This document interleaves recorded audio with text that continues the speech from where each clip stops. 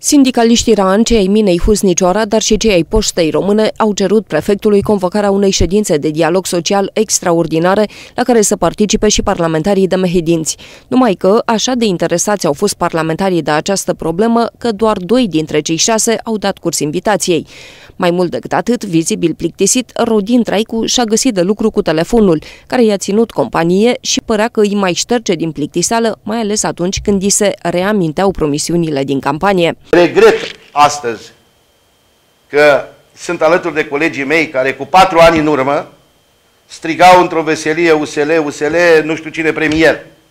Regret pentru că cei 2500 de salariați garantați de cei care au ajuns în Parlamentul României pentru locuri de muncă nu se mai regăsesc niciunde.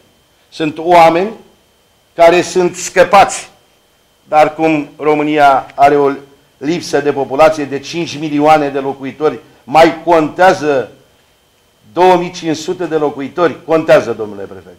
Contează pentru că acești oameni au fost creați pentru această, dacă vreți, unitate strategică. Cine mai ține cont de strategie? Minerii de la Huznicioara și-au prezentat și ei problemele, căci locurile lor de muncă sunt direct legate de ceea ce se întâmplă cu RAN, dar și de soluția aleasă pentru termoficare. Doar că nici guvernul, nici prefectul sau parlamentarii nu au niciun cuvânt de spus cu privire la ce se întâmplă la RAN, unde deciziile le ia firma de lichidare. Noi discutăm de o regie în faliment, la care nici instituția prefectului, nici guvernul nu poate să intervină.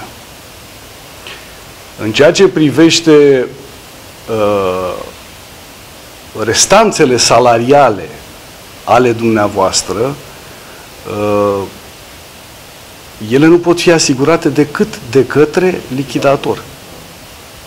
Din venituri Parte din solicitările sindicaliștilor vor ajunge și pe masa guvernului, dar și a parlamentarilor sub forma unor inițiative legislative și interpelări cu privire la necesitatea constituirii unei autorități pentru managementul apei grele, în urma unui demers al senatorului liberal Marius Bălu.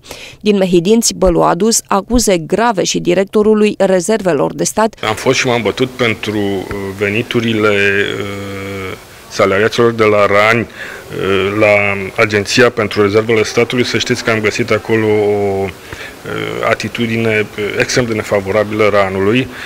Acest domn Baranga, pe care văd că nu schimbă nimeni de la conducerea rezervelor statului, pot să spun cu toată responsabilitatea că este un dușman fățiș al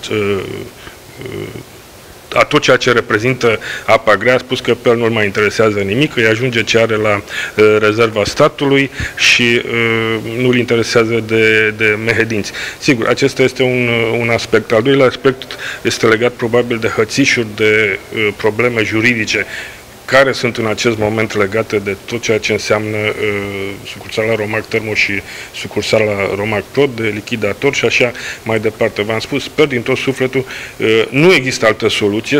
Uh, apa grea este un bun național, este, uh, ține de, până la urmă de uh, securitatea națională, de strategia, strategia de securitate națională, cu siguranță din păcate mai greu, dar cu siguranță se va găsi o soluție pentru această unitate de management a apei grele. În acest moment s-a făcut o interpelare către Ministerul Energiei, în urma căruia există posibilitatea ca guvernul să plătească pentru achiziția a 6 tone de apă grea, găsindu-se astfel bani pentru plata salariilor restante.